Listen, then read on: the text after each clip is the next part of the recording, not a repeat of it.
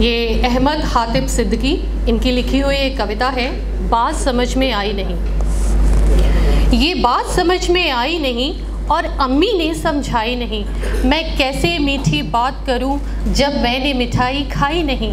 आप ही भी पकाती हैं हलवा, फिर वो भी क्यों हलवाई नहीं? ये बात समझ में आई नहीं। नानी के मियाँ तो नाना है, दादी के मियाँ भी दादा हैं। जब आपा से मैंने ये पूछा बाजी के मियाँ, क्या बाजा है?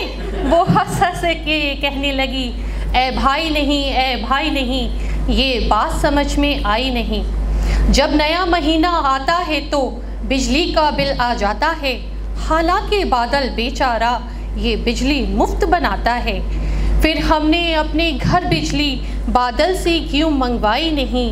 ये बात समझ में आई नहीं।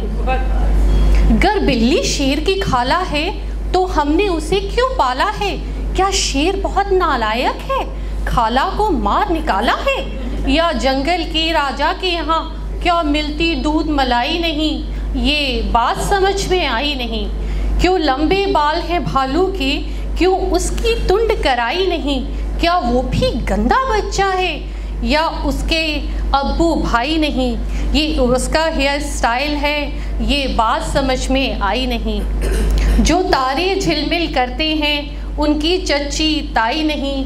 होगा कोई रिश्ता सूरज से, ये बात हमें बतलाई नहीं। ये चंदा कैसा मामा है, जो अम्मी का भाई नहीं। ये बात समझ में आई नहीं, ये बात समझ में आई नहीं।